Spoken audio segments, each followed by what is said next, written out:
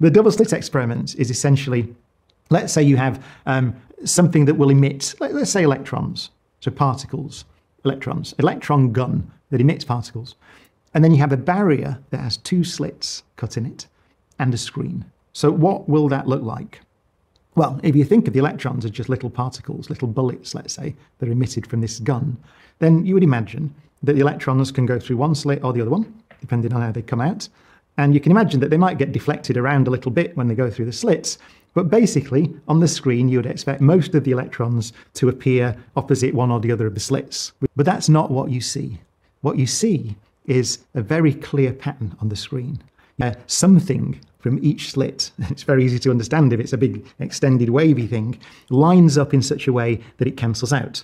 And then it could line up in such a way that it reinforces and you get a big disturbance there. And then it cancels out again and then it reinforces again. So you can imagine this stripy pattern on the screen.